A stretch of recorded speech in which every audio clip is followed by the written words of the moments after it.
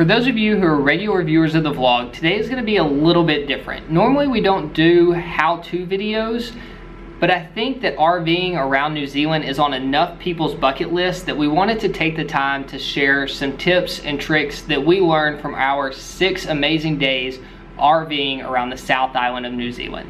I'm gonna start by drawing out our entire route on this map and then I'll come back and go into detail about what we did and where we stayed each day of the trip.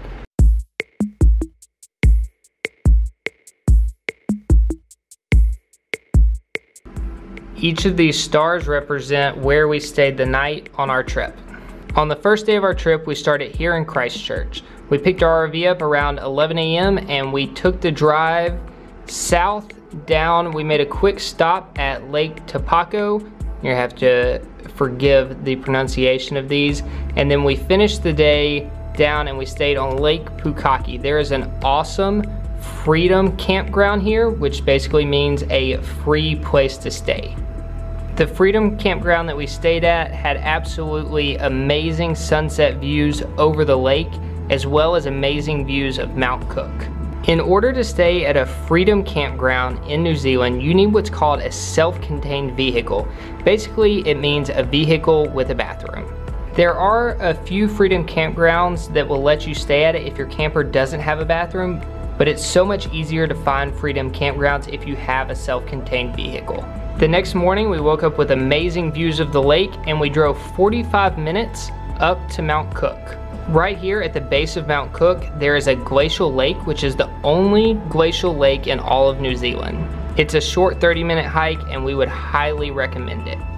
After the short hike to the glacial lake, we drove back down the same road we came up and then we made the drive south to Queenstown. That night we stayed about 20 minutes north of Queenstown at a freedom campground called Lake Hayes.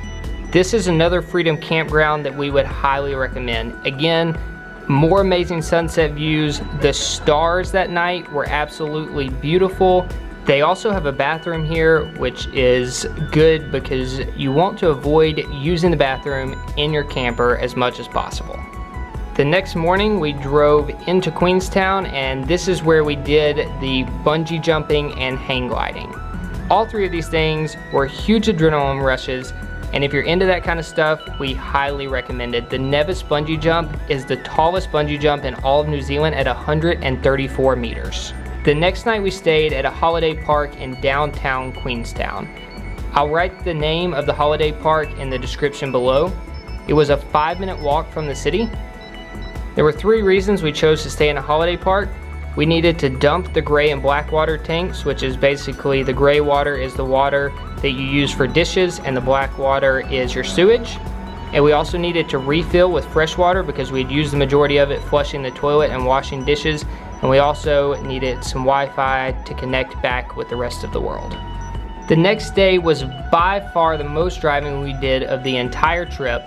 We drove from Queenstown through Te Anau all the way to Milford Sound. This is the only way to get to Milford Sound and it took six and a half hours. You could do it in five, but you'll definitely want to stop and see some sights along the way. Once you get to Milford Sound, the only way to truly enjoy Milford Sound is by going on a cruise. We booked a two hour cruise with Southern Discovery, which we really enjoyed. So if you find yourself in Milford Sound and you're looking for a cruise company, definitely look into Southern Discovery. After finishing the cruise at 5 p.m., we drove seven hours to Lake Wanaka. We stayed at another Freedom Campground on the north side of Lake Wanaka.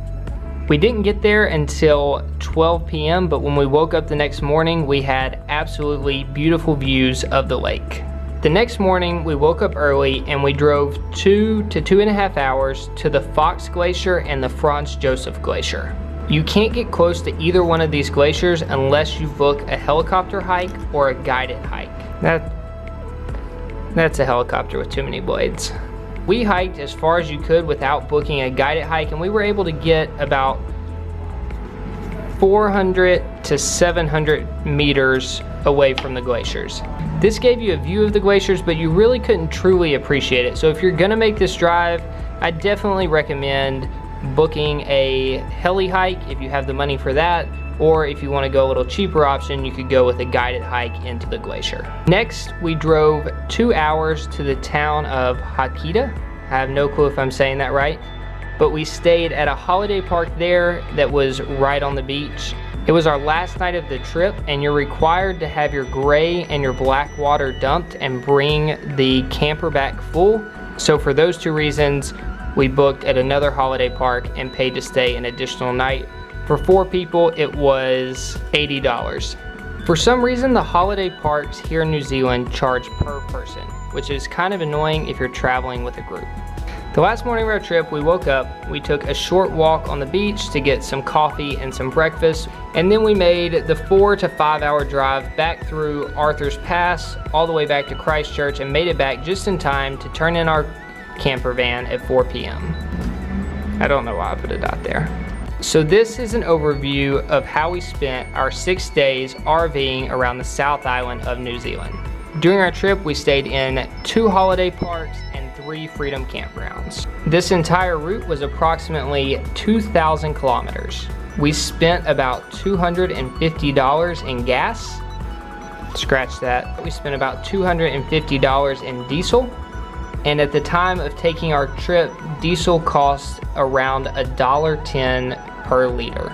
We rented our camper from Britz Camper Van, and for four people for six days, the total came out to about $1,000 USD. We also cooked the majority of the time for ourselves inside of the camper van because we had a gas stove. We cooked a lot of pasta and tacos, and the total cost for food for the week cost about 300 USD think that about wraps it up. I'm sure there's something I left out. So if you have any questions about camper vanning around the South Island of New Zealand, definitely leave those in the comments below and I'll do my best to get back to every comment. Also, our friends Jordan and Julianne flew out of New Zealand this morning, which is really sad.